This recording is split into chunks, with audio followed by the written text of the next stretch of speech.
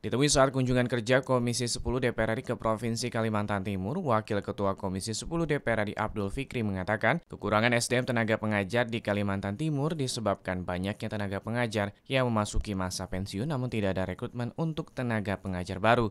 Abdul Fikri juga menyayangkan terhentinya pembangunan gedung Universitas Mula Warman di Samarinda, Kalimantan Timur yang terbentur Undang-Undang Nomor 23 Tahun 2014 karena alokasi anggaran pembangunan yang tidak teralokasi. Abdul Fikri meminta Kementerian Riset, Teknologi, dan Pendidikan Tinggi untuk segera mencari solusi terkait permasalahan tersebut. Hal yang selalu menonjol itu ke depan itu yang pertama adalah masalah SDM, masalah dosen.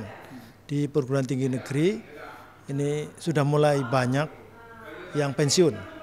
Ini mulai besar, membesar artinya angkanya sudah sampai puluhan ribu tetapi tidak ada pengganti karena moratorium eh, PNS Anggota Komisi 10 DPR RI Dadang Rusdiana mengatakan minimnya kualitas sumber daya manusia tenaga pendidik dan infrastruktur pendidikan terjadi hampir di seluruh daerah di Indonesia. Karena prioritas pemerintahan saat ini dititik beratkan pada pemerataan infrastruktur pembangunan, yakni konektivitas antar wilayah dan antar pulau agar pemerataan ekonomi dapat segera terwujud.